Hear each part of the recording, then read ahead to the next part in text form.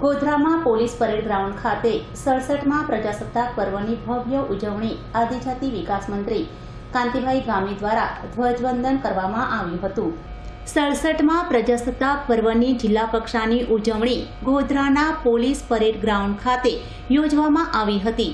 જેમાં ગુજરાત રાજ્ય આદિજાતિ વિકાસ મંત્રી કાંતિભાઈ ગામિતના હસ્તે ધ્વજવંદન કરવામાં આવ્યું હતું. ત્યારબાદ જિલ્લાની વિવિધ પોલીસ ટુકડીઓના પરેડ નિદર્શન કરવામાં આવ્યા હતા. આ પ્રસંગે જિલ્લા કલેક્ટર, જિલ્લા પોલીસ વડા સહિત નગરજનો મોટી સંખ્યામાં ઉપસ્થિત રહ્યા હતા.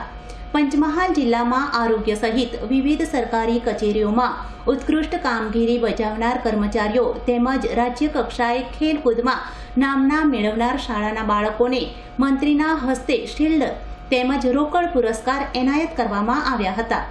Hanif ભગતનો report S nine news Godhra.